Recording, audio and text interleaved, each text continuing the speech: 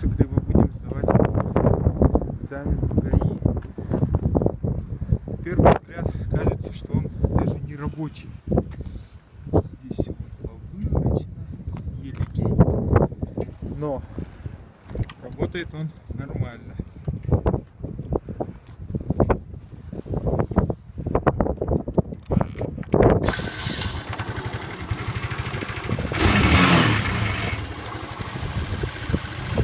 subscribe and kill the fuel.